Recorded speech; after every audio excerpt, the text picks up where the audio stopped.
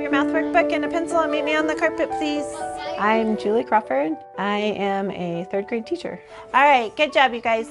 Um, Iz, can you erase that for us? Thank you for your help. This is my 26th year. Growing up in Parker, it was such a great experience. My family moved to Parker when I was two, so I went to Douglas County Schools and graduated from Ponderosa High School. Lydia, what do you notice, babe? It's a great place to raise kids. I raised my three kids here. All three of my kids graduated from Chaparral. Wait, what's your answer? Is that what Jackson, is that what you and Brooklyn got? The kids are the reason why I'm here. They are fun. I enjoy them. They just keep me going. This year's been going pretty good. We've been working a lot on animal adaptations. We've been doing a lot with comparing and contrasting, some research. So this would be four times one, right? And then they break it apart. This side would be what? I really like math and science.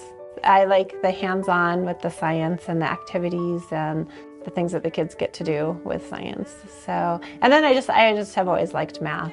There's so many different ways to get to a certain answer. It's always fun to see the thinking and there are different kids, different years who they're thinking like their math thinking just kind of blows me away. I'm like, wow, I've never thought about you know, approaching a problem that way. I love Cherokee Trail. I love the staff here. Everybody supports each other. We've got each other's backs.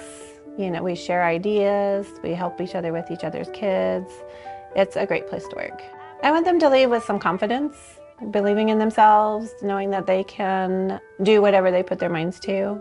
And if, you know, they work hard enough and they can become whatever they want to become. I always enjoy having students come back and say hi to me. I've got a couple that are still in the building that come back every morning and pop in to say good morning to me before they go to class. So that's always nice. I love that.